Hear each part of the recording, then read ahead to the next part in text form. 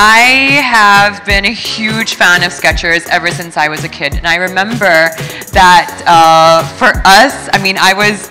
I wasn't earning my own money, so it was like it was like for I would wait for occasions to be Wow. able to get presented, you know, with so it was either Christmas or my birthday, where I would actually be able to be gifted a Skechers shoe.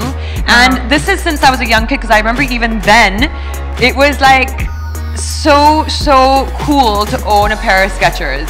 Um, so till this day, and like for me, it's actually kind of surreal that I'm sitting here right now in the 200 store opening of Skechers because as a young girl, this is like the shoe that I idolized.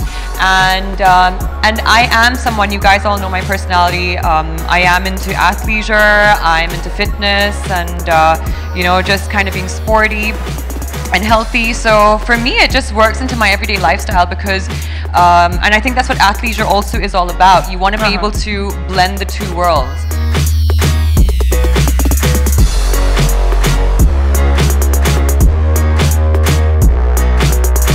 If I was to give, I don't know, the only person I think that can come to mind right now probably would be uh, Varun.